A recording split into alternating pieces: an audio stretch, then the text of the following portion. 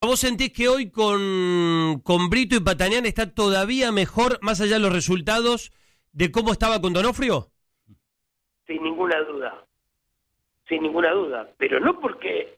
O sea, Donofrio tuvo una etapa este, que se, se, se encargó de lo que se tenía que encargar y me parece genial. Hoy Jorge y Matías se están encargando, aparte de la parte deportiva, de algo que había que, hacer. Vos sabés perfectamente que nos cargaban porque eh, había una boterita en un lado, porque ah, ah, tenía sillas de madera, ¿te acordás? Sí, sí, sí. Bueno, bueno. Eh, ir a la cancha de River hoy es algo, es maravilloso, es maravilloso los, los palcos nuevos inferiores, los, los que han cambiado la platea, los lugares que hay. Y la gente va porque está entusiasmada. Y entiendo a la gente del otro lado, no, repito, no solo la de Boca, a la de Boca es a la que más entiendo, obviamente. Yo no tengo duda que si Boca hace un estadio para 50, 60 mil personas, 70 mil personas, la lo va a meter también. Pero ninguna duda tengo, ninguna. Ahora bien, ahora bien, eh, hay que hacerlo, hay que hacerlo, hay que visitar la cancha. que- Yo sé si ellos están con la cabeza abierta para hacerlo. Yo no hablo de Boca porque realmente no me interesa.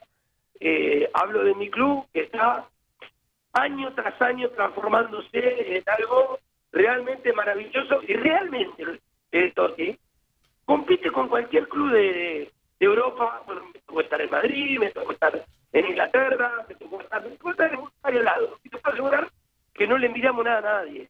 No estamos realmente. Yo entiendo a todo el mundo. O sea, eh, para vos hoy, eh, a ver, eh, declaraciones como la de Revira son por envidia. No tengo ninguna duda. No sé si llamarlo envidia. eh, a ver, es, son es incomparable. ¿no? De, de club a club es incomparable. O sea, no, no, no es algo. No hay manera. No hay manera de andar en nuestro club, meterse en nuestro club, fijarse las cosas que, que se están reformando, las cosas que se están haciendo nuevas. En una época y en una etapa bastante difícil que nos está tocando, que hablando a nivel del país, ¿no? De los últimos tres, cuatro, cinco años, ¿no? Hablemos más o menos.